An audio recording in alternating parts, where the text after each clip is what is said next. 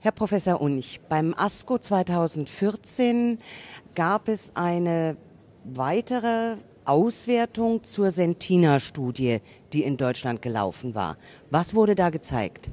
Also zunächst mal ganz herzlichen Dank an Brustkrebs Deutschland e.V., dass Sie diese Studie als nicht Pharma unterstützte Studie gesponsert oder finanziell unterstützt hat. Das finde ich klasse.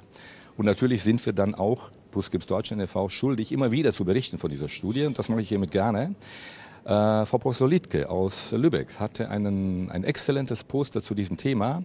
Und ich fasse jetzt das zusammen unter dem Thema der Deeskalation. Was bedeutet es?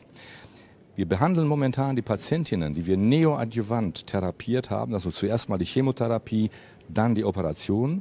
Bei der OP wie folgt. Diese Frauen bekommen so gut wie immer eine normale Axilla-Operation. Also wir nennen das im Fachjargon eine komplette Dissektion.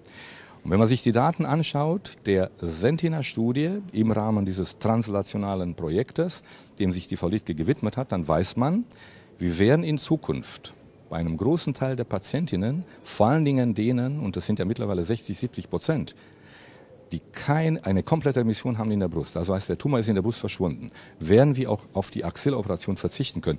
Das ist eine Erkenntnis aus Studien, die aus Deutschland kommen, mit Unterstützung von Brustkrebs Deutschland e.V. Da kann ich nur sagen, tolle Deeskalation, super Erkenntnisgewinne für die Patientinnen. Und äh, unter dem Motto Deeskalation vielleicht noch ein letztes, denn auch dieser Automatismus ist immer noch gang und gäbe, ob in USA oder Schweiz oder Österreich oder Deutschland.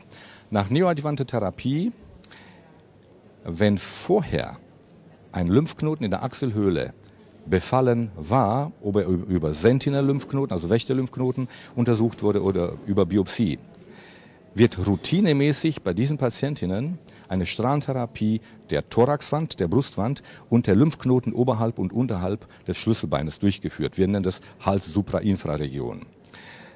Nun muss man sich fragen, wenn 60 Prozent der Patientinnen gar keinen Tumor mehr haben nach der Neoadjuvant-Therapie in der Brust und in der Achselhöhle, warum muss überhaupt da noch bestrahlt werden?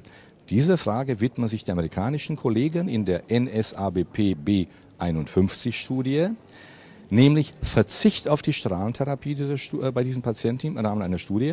Und wir werden heute Nachmittag im Rahmen der AGOB Studiensitzung zusammen mit Brustkrebs Deutschland e.V. darüber diskutieren, dass Sie unbedingt dieses Studienkonzept, das von der National Cancer Institute, also von der nationalen Krebsforschungsbehörde in den USA unterstützt wird, auch in Deutschland und in Österreich und in der Schweiz durchzuführen.